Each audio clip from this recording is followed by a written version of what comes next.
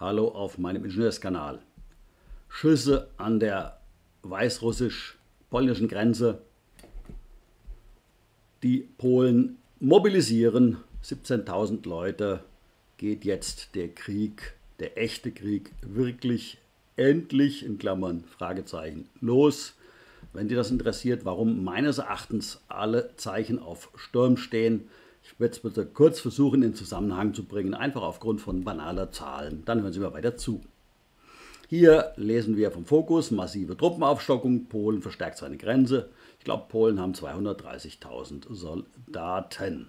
Deutschland kann übrigens da ein bisschen weniger mithalten. Übrigens sind bei den Deutschen, ich glaube, 25 Prozent sind Offiziere. Die kämpfen nicht. ja. Aber gehen wir mal hier in Politik mit Kopf, mit, Kopf, mit dem habe ich nichts zu tun, mit dem Kanal. Ich schätze ihn nur aufgrund seiner Berichterstattung, die ich für relativ. Und er berichtet mit Bildmaterial, was er nicht direkt. Wenn ihr das alles sehen wollt, müsst ihr unbedingt. Okay, Politik mit Kopf. Er sagt, ähm, hier gibt es Schüsse mittlerweile, scheinbar wegen, weil die Russen oder wer auch immer durch Migranten an die Grenze schickt. Die werden dann mit einem Firewall zurückgehalten sozusagen. Und die Sache eskaliert immer weiter. Eben 17.000 Soldaten wurden mobilisiert. Also in Polen ist schon die Mobilisierungswelle. Und das passt gut zum Bild, dass, ähm, dass eben im Moment auf der anderen Seite scheinbar der russisch-weiß-russische Sieg gegen die Ukraine kurz vor der Tür steht und wenn die NATO weiter ihre Hand auf die Ukraine hält, um dort Getreide zu ernten und die Grünen, dass die ihr Lithium kriegen, um ihre Elektromobile fahren zu müssen, müssen sie irgendwie reagieren. Und die Russen sind die Bösen. Wir haben ja schon die gesamte Propaganda durch ich habe ja schon die zehn Regeln der Propaganda. Der Russe hat keine Verluste, äh, der Gegner hat ganz viele Verluste, die eigenen Menschen haben keine Verluste. Und hier muss die NATO jetzt irgendwie reagieren. Und zwar weswegen? Weil die Russen Videos über Times of India wieder veröffentlichen, die von erheblichen ukrainischen Verlusten sprechen. Ich bitte Sie hier auch ein bisschen vorsichtig zu sein, eben was die russischen Zahlen angeht. Jeder lügt im Krieg, jeder. Wir wissen ja, dass Herr Zelensky jedoch gesagt hat, er hätte 31.000 Leute verloren. Das war, glaube ich, im Februar. Das kann überhaupt nicht sein, weil in seinem Land etwa pro Jahr 100.000 wehrfähige Männer nachwachsen quasi, also 200.000. Das bedeutet, er hätte in, innerhalb des Zeitraums des Krieges 200.000 nachwachsende Männer gehabt aber er hätte nur 31.000 verloren. Gleichzeitig startete er eine riesige Mobilisierungswelle. Das heißt, dass die Ukraine ganz viele Leute verloren hat und nicht nur 31.000, sondern eher 310.000 oder mehr, weil Frau Dr. von und zu Ursula von der Leyen ja schon nach anderthalb Jahren Krieg von 400.000 toten Ukrainern sprach, was dann ganz schnell gelöscht worden ist. Und hier haben wir Times of India, und die sprechen hier, die behaupten, die stellen, die sagen unverified, es gibt massive Attacks und die sprechen davon, das können Sie unten lesen, ähm, dass die Russen behaupten, innerhalb einer Woche, Vorsicht, 14.000 Soldaten, dass da 14.000 ukrainische Soldaten ihr Leben gelassen hätten. Klammer auf, oder übergelaufen sind, Klammer zu. Das bedeutet 2000 Soldaten pro Tag, das können wir im Kopf noch rechnen. Aber selbst wenn diese Zahlen hoffnungslos um den Faktor 2 übertrieben wären, wären das 1000 tote Soldaten am Tag oder hochgerechnet 365.000 im Jahr. Und wenn man, ja, und von dieser Seite muss, wenn die NATO jetzt weiter Krieg haben will, irgendwie reagieren weil das geht nicht mehr lange gut. Es steht mittlerweile stehen Chinesen in Weißrussland. Weswegen weiß man nicht so genau. Vermutlich wollen die Chinesen tatsächlich ihre, ihre Soldaten anhand anhand realen Kampfgeschehen trainieren. Das traue ich denen zu. Das sind halt Chinesen. Die sind, ich gehe davon aus, dass das einfach so ist, dass die, da, dass die, dass die ihre Männer härten wollen, als dass, dass das für die quasi eine Ausbildung ist. Das ist meine persönliche Meinung zu der Sache.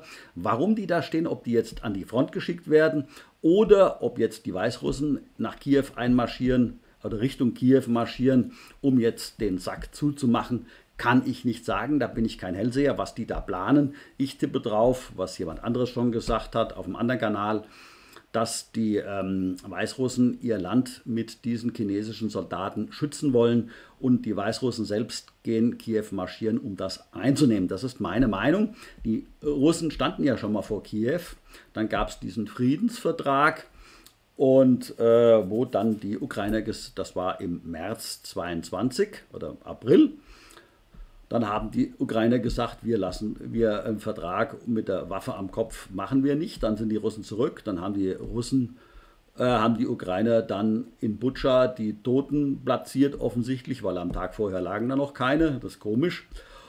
Und äh, was wir auch sehen bei den Toten, bei dem Angriff von Konstantinowka am 6.9. Und deswegen werden die ähm, Russen sich auf solche Spielchen nicht mehr einlassen, weil sie wissen, dass sie nur, beschissen und belogen werden und verarscht werden. Und ähm, also aus ihrer Sicht, ja, jeder kann sagen, er wird von der anderen Seite verarscht. Äh, das ist mir auch egal, aber wir sehen hier, der Krieg steht kurz bevor Polen mobilisiert. mobilisiert. Die haben eine Mobilisierungswelle, eine echte Mobilisierungswelle von 17.000 Soldaten. Und, wenn, und, und wir wissen, dass in, hier in Deutschland oder in der EU jeder, der sich für Frieden ausspricht, angefeindet wird. Auf den serbischen Präsidenten gab es einen Mordanschlag an der Stelle von Viktor Orban möchte ich im Moment auch nicht sein. Auch er ist angefeindet worden, der überall hingereist ist. Nein, nach Russland darf man nicht reisen, ähm, weil ja, und in seine Haut möchte ich nicht stecken, weil vermutlich wird es da auch geplante Mordanschläge geben. Auch von der Alena Buix, unserer super promovierten Ethikerin, wird die AfD in die Richtung Nazis gestellt. Das ist ganz spannend. Die AfD sagt, wir wollen endlich Frieden und endlich äh, Kommunikation mit den Russen. Und ähm, das sind dann die Nazis. Da weiß man, wer die echten Nazis sind. Die sind heute nicht, heute nicht mehr dunkelhaarig mit schwarzem Bart sondern, und männlich, sondern die haben, ja, ach so, Geschlechter gibt es nicht, oh, sondern sind heutzutage blond, blauäugig und weiblich in meinen Augen.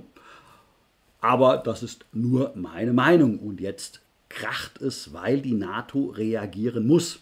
Es gibt hier ganz wenige Optionen für die NATO, um diesen Krieg mit Gewalt aufrechtzuerhalten, um, sich Russe, um, um damit die Ukraine nicht von Russland eingenommen wird und dass die Russen nicht den Frieden diktieren.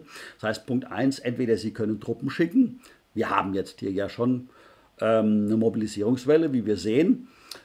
Die Franzosen haben ja ihre Fremdenlegionäre ja auch abziehen müssen aus, der, ähm, aus, aus dem Niger. Die sind auch übrig, die kann man da reinschicken. Äh, die USA werden gerade aus dem Niger rausgeworfen, auch die kann man dahin schicken. Und ja, die sind übrig, ja, die muss man ja weiter bezahlen. Wenn die nichts zu tun haben, ist das ja schlecht. Also schickt man die dahin.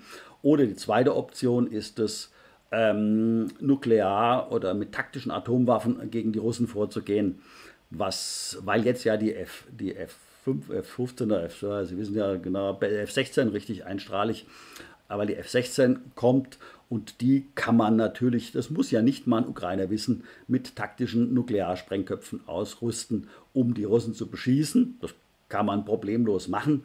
Äh, und wie gesagt, das muss, ich, ich sage nicht, dass die, Russen, dass die Ukraine, da, die werden ja von fremden Leuten bestückt, die werden, die werden vielleicht nur geflogen. Deswegen sind wir ja offiziell noch nicht im Krieg. Das sind ja alles nur die Ukrainer. Und was die Amerikaner oder die Frau Baerbock den F-16 unter die Tragflächen hängt, das wissen die Ukrainer ja gar nicht. Glauben Sie, die könnten einen Nuklearsprengkopf von einem normalen Sprengkopf unterscheiden und gehen vorher im Geigerzähler vorbei? Vergessen Sie es. Und da ist das große Ding. Das heißt also, es wird definitiv Krieg geben Und das wird eine Katastrophe und eine Katastrophe insbesondere für die EU. Ich verweise auf mein anderes Video. Die Russen haben ja ganz klar gesagt, wenn hier diese Hyperschallwaffen der DAPA stationiert werden, dann werden wir diese Raketensilos kaputt schießen. Und die Eskalation funktioniert, wie wir sehen. Das, hm? Danke fürs Zuhören. Wir leben vor harten Zeiten. Die Frage ist nur, wohin haut man ab? Weil hm, Ungarn ist ja auch nicht mehr sicher, weil ja Orban gesichert auf einer sogenannten Abschussliste steht, was man diesbezüglich wörtlich nehmen kann. Danke fürs Zuhören.